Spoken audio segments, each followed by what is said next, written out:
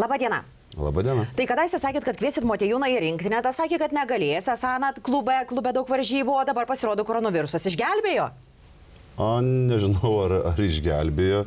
Nedaug dievė tie koronos virusai, geriau tegul negelbėja. Faktas taip, tas, kad tikrai situacija pasikeitė, Donatas yra mm, Lietuvoje ir buvau su juo susitikęs, kalbėjausi, dega norų uh, atstovauti rinktiniai, dega norų, kažką tai įrodyti, pasirodyti. Žodžiu, durys atviras. Na, bet jūsų sąraše yra nemažai jaunų žaidėjų.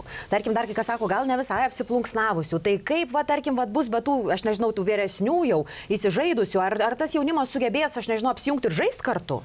Aš, aš nedrįščiau taip teikti, kad yra labai daug jaunų žaidėjų, aš sakyčiau, yra normalus balansas tarp a, vyresnių ir patyrusių žaidėjų, kurie jau ne pirmi metai rinktinėje. Aš netgi gal, sakykime, daugiau tokių pakviečiau veteranų, kurie, kurie jau senai žaidžia rinktinį ir gal šiaip langui galima būtų jų ir net netrukdyti, palikti klube, bet vien tik tai dėl to, kad nėra laiko ir, ir žinau, kad vasarą neturėsim laiko daug, tai man, man yra svarbu, kad tie žaidėjai, kuriuos aš tikiuosi matyti vasarą atrankinėse į, į, į olimpiadą, kad jie jau apsiprastų kažką tai per tą savaitę laiko bent kažkokį minimalų, minimalę dozę žinių, kaip mes pulsim, kaip mes ginsimės, nusineštų savim, jau atsineštų su savim į, į, į vasaros tą pasirašymą. O tai tarkim, dabar vis tiek prieš tas rungtynės, prieš tas varžybas, ar Kaip dabar bus irgi su tomis treniruotėmis? Na, ta, pagaliau, kad jie susižaistų, nes tarkim ir su Motėjūnu tikriausiai nėra visa likusi didžioji dalis komandos žaidusi. Kaip bus su tuo? Nu, čia labai nenoriu daug plėstis, nemanau, kad čia mes tiek daug turime laiko, čia taip labai specifinė situacija, sakykime, nes e, mes pasiskaičiavome, kad mes iki pirmų varžybų su belgais turėsim keturias treniruotės. Nu, tai čia nereikia būti jau kažkokių tai labai didelių žinovų, kad nieko per tą laiką kažko dramatiškai didelio ar taip toliau tu nei, nei išmoksi, nei pasiruoši. Taip mes kažkokius tai bazinius dalykus e, bandysim įdėkti, atidirbti ir, ir su tais eisime žaisti. O dabar kaipgi laukia tie belgai ir čekai? Tai kaip jie, kiek jie yra grėsmingi mums? A, šiai dienai e, žinom daug maž e, bel, kas, kas atstovaus e, belgų rinktiniai. Žinom tiksliau, kas, kas neatstovaus tie žaidėjai, kurie, sakykime, yra Eurolygos, žaidžia Eurolygos klubuose, tie, tiek, kiek turim informacijos, bet vėlgi tai čia yra tik tai informacija, tai jie neatstovaus. Vienas, vienas iš jų tokių irgi pagrindinių žaidėjų Turkijoje rungtyniaujantis, tai net nepakviestas į rinktinę.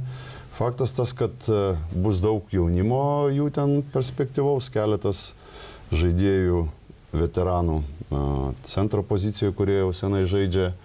Tai sakau, mūsų skautas ten tokį preliminarų skautingą jau pasidaręs, bet sakau, kad šiuo metu yra sudėtinga kažką, kažką ir įvardinti, nes net dvyliktuko ar ten tryliktuko, kas bus pakviesta, mes nežinome tiksliai. O tarkim, kaip dabar žalgyriečiai jūsų rinktinė sąraše? Ar nesinorėjo daugiau jų?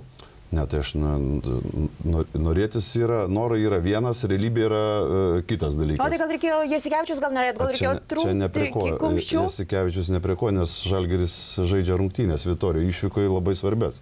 Tai čia nėra, nėra net klausimų, mes apie tai nediskutuojam. Taip aš įtraukiau į, į, į triliktuką vieną, iš, vieną žalgyrėtį, Roką Jakubaitį ir labai tikiuosi, kad antrose rungtynėse, kur, kurios bus namuose su čekais, mes jį turėsime pas save. Dabar labai trumpai, tarkim, kokia situacija su Brasdeikiu? Kaip Jūs manote, kiek jisai būtų reikalingas mūsų rinktinė? Aišku, dar vat, kol kas čia sprendžiasi dėl jo pilietybės reikalai, bet tai tarkim, kuo jis mums būtų naudingas? Kuom, sąžininkai atsakysiu, tikrai negaliu dabar pasakyti, bet faktas tas, kad žaidėjas, kuris yra draftuotas, kuris yra e, tarp pagrindinio NBA klubo dukterinės jos komandos visą laiką migruoja faktas, kad jis yra kažko tai vertas, kad jis yra a, kažką tai gali, ką šiai dienai realiai gali, aš dar tiksliai negaliu pasakyti, e, neslėpsiu, labai nesigilinau, kadangi dar nėra dėl ko gilintis, nes neaišku, koks bus verdiktas. Jeigu jisai netaps Lietuvos piliečių, tai, tai jisai yra tik Ignas Brasdeikis žaidžiantis NBA arba dukterinį komandai. Na, dėkui iš pokalbį ir sėkmės. Ačiū Jums.